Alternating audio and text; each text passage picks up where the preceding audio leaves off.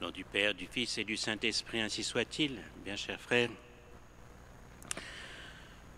nous avons fêté euh, jeudi dernier la fête du Saint-Sacrement, la fête Dieu que nous avons solennisée hier. Et nous sommes dans ce qui était autrefois l'octave du Saint-Sacrement, qui durait jusqu'à vendredi prochain, qui sera, vous le savez, la fête du Sacré-Cœur. Il y a un lien entre l'Eucharistie et le cœur sacré de notre Seigneur Jésus-Christ. C'est un grand mystère de foi que ce mystère de la Sainte Eucharistie. Oui, mystère de foi parce que nous croyons quelque chose que nous ne voyons pas. Nous croyons que vraiment notre Seigneur est là, présent, avec son corps, avec son âme, avec son sang, avec sa divinité, sous les apparences du pain. L'essence nous dit c'est du pain et notre raison, éclairée par la foi, nous dit non, c'est le corps de notre Seigneur Jésus-Christ. Mystère de foi. Nous croyons, non parce que nous comprenons, mais parce que Dieu l'a révélé. Et nous croyons l'autorité de Dieu. Mais Dieu connaît la faiblesse de notre foi. Et Dieu, connaissant la faiblesse de notre foi, tout au cours de l'histoire de l'Église, a permis qu'il y ait des miracles eucharistiques pour venir au secours de notre faiblesse. Et je voudrais vous en rappeler un spécialement ce soir, parce que c'est un miracle qui s'est déroulé au XVIIIe siècle, mais que l'on peut encore constater de nos jours. C'est un miracle permanent de Dieu qui vient au secours de notre faiblesse. Rappelons d'abord quelque chose au point de vue de notre enseignement sur la Sainte Eucharistie.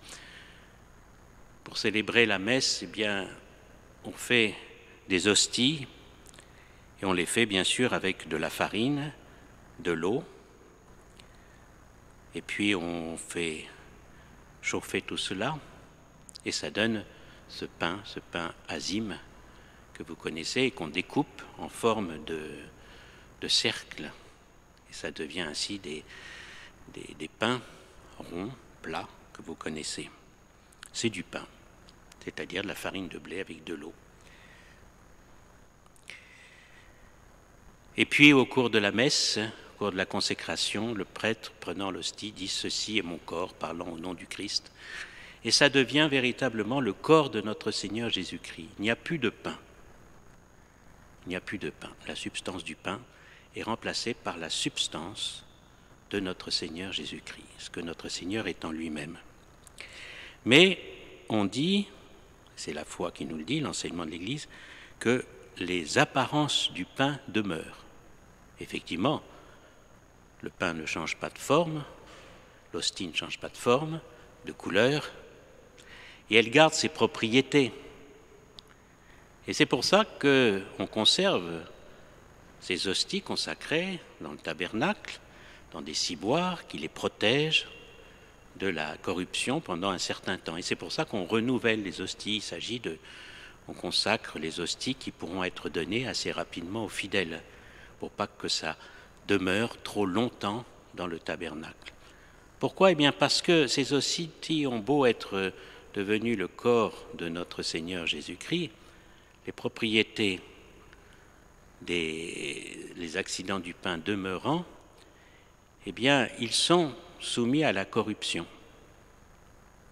Et c'est pourquoi, eh bien, si ces hosties restent trop longtemps, elles durcissent, elles perdent leur saveur et à la fin, elles se, décomposent. Et à ce moment-là, la présence réelle cesse, bien sûr.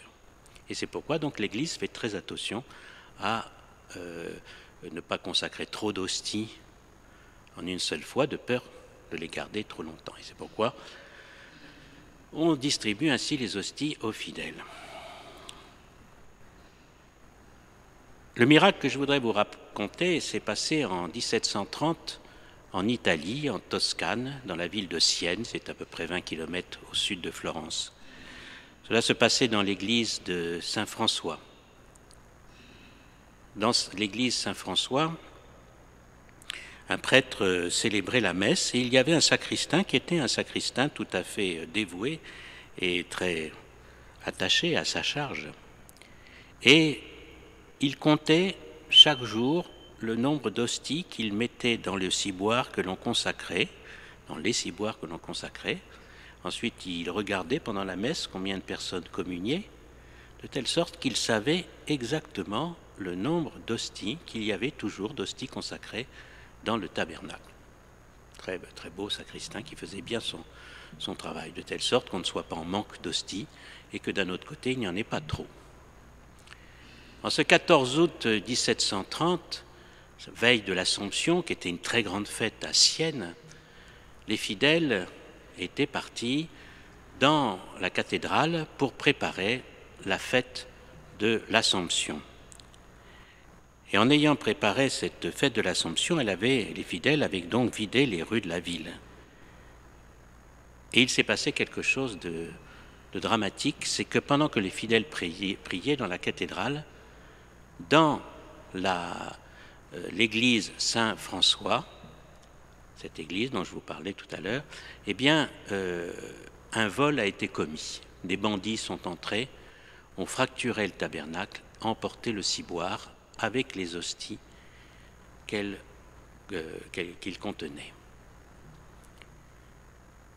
Quand on apprend ça, le lendemain matin, quand le prêtre dit la messe, il ouvre le tabernacle et il voit qu'il n'y a plus d'hostie, il n'y a plus rien. Alors que fait-il? Eh bien, il avertit l'évêque.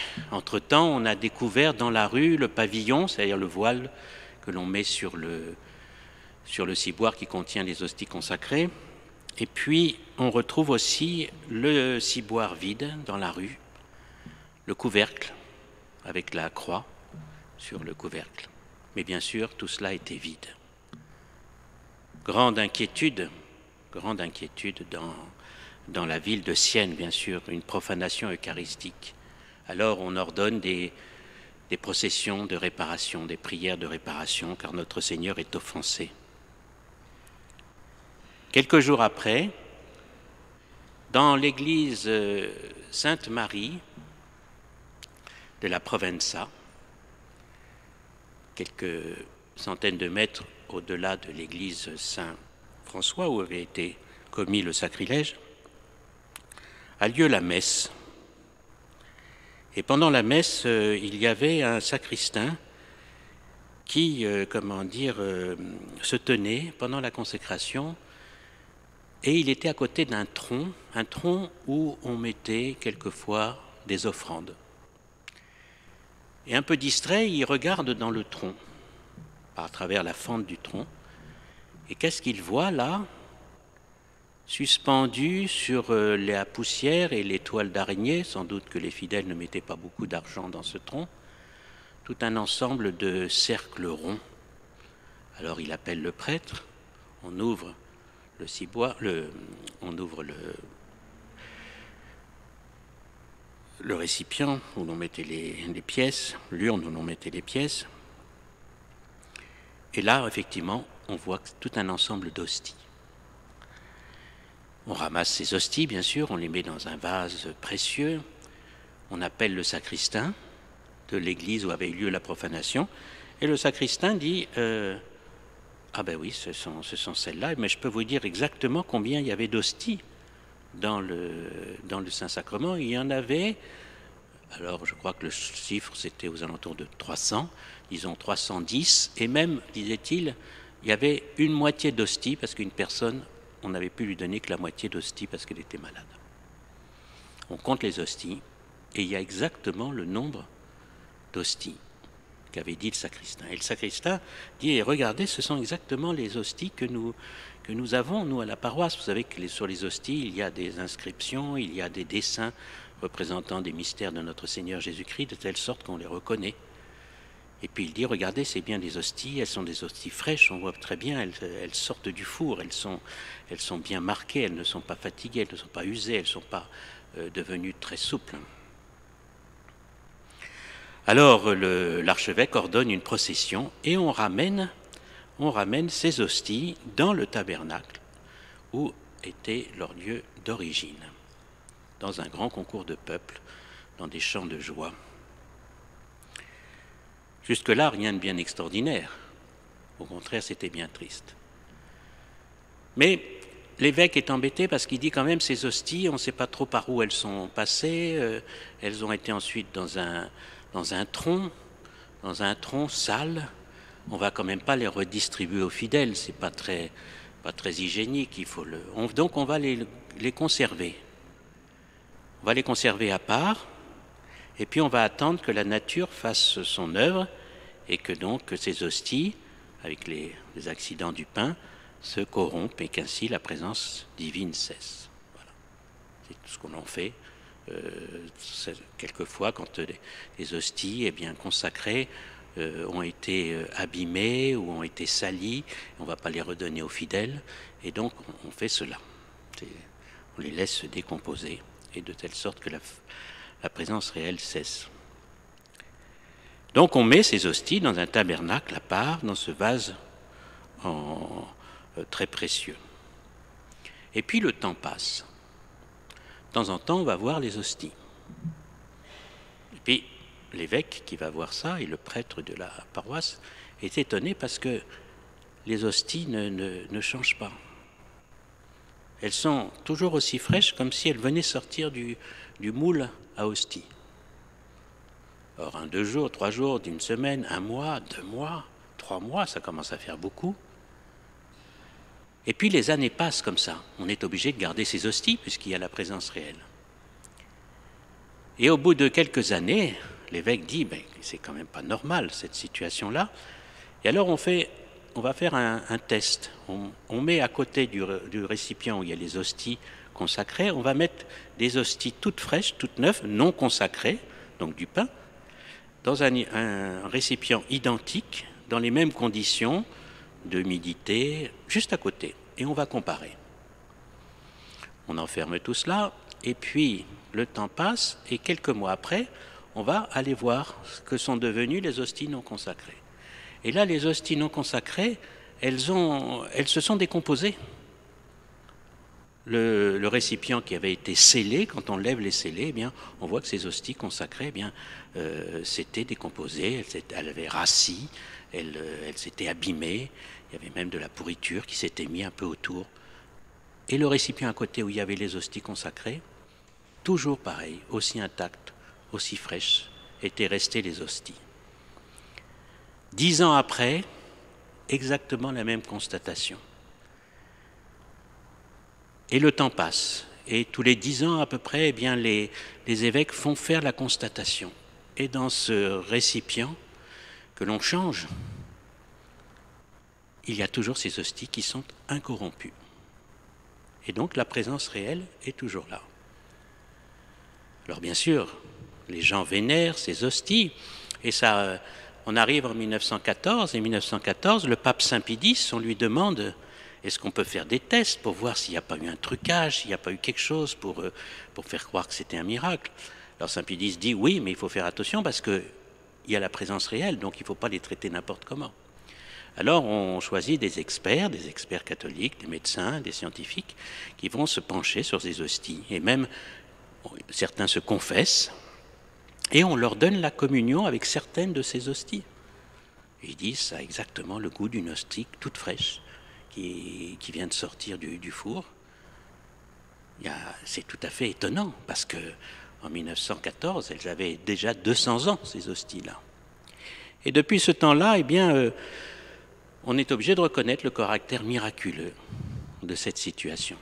Et aujourd'hui, si vous allez à Sienne, si vous allez dans le dans l'église Saint-François, il y a une chapelle latérale avec un grand tabernacle, et régulièrement, on présente à l'adoration des fidèles ces hosties qui sont dans un grand récipient en cristal, transparent, et on voit les hosties et les fidèles peuvent s'approcher.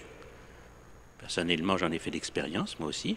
Quand vous êtes approché, on a l'impression que ce sont des hosties toutes fraîches. On voit parfaitement les dessins sur l'hostie, pas, pas la moindre salissure, pas la moindre, comment dire, marque de décomposition ou de pourrissement. Non, elles sont toutes propres, toutes nettes, toutes. Et donc la présence réelle est là. Et d'ailleurs, on donne la bénédiction du Saint-Sacrement avec ces hosties. Ça fait maintenant presque trois siècles que ce miracle demeure. C'est pour ça que je vous parlais tout à l'heure, au début de ce, ce sermon, d'un miracle eucharistique permanent, car il dure. C'est un phénomène qui dure encore, que l'on voit maintenant, et euh, qui nous manifeste une chose, qui nous manifeste que celui qui est là, la substance du Christ, est celui qui domine les siècles. Ça fait trois siècles qu'il est là. Si vous allez, si vous pouviez communier à ces hosties, eh bien, vous communieriez à une messe qui a été célébrée le 14 août 1730. Et donc, c'est la puissance de Dieu qui maintient de façon miraculeuse ces espèces, ces accidents du pain. Ce n'est plus du pain, c'est le corps, le sang, l'âme et la divinité de notre Seigneur, et qui nous montre bien que notre Seigneur est éternellement vivant, qu'il est le maître du temps. Et quand il nous dit que quand nous communions, c'est véritablement sa chair que nous mangeons, eh bien, il ne nous ment pas. Et nous croyons en lui. Alors, augmentons notre foi. C'est un grand mystère de foi qu'il faut entretenir pour sauver notre âme. Au nom du Père, du Fils et du Saint-Esprit, ainsi soit-il.